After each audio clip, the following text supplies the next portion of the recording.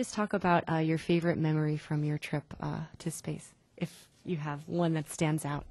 Gee, that's that's going to be a hard one, because yeah, like I said, I left, loved every second of it. But probably uh, the most memorable was when we opened the hatch and we had a big party inside. it was good to see everyone, you know, enjoying that space, and and uh, unfortunately, uh, we won't have that again because all the racks are installed, and uh, also uh, the view from the window, the Kibo window, um, until uh, 2JA, um, we will have that space until the exposed facility is uh, installed. Uh, we can see uh, down on Earth. So uh, those two are, yeah, probably the, the, the biggest for me. So, in Japanese.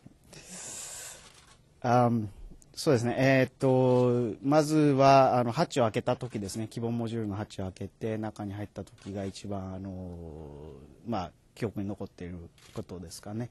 あの、特に中に入って、あの、みんなで楽しんでくれたと。あの、スペースがあるのは、まあ、今だけなんですよね。あの、その、そのハッチを開けて、1日2日の間だけだったので、あのそれをみんなが楽しんでくれたというのが非常にあの嬉しかったです。それからあの希望の窓ですね。あの地球を眺められる期間というのはあのバックロブですね。あの船外プラットフォームが取り付くまでのまあ短い期間しかないので、あのそれをまあみんなで楽しめたというのが、えー大きかったと思います。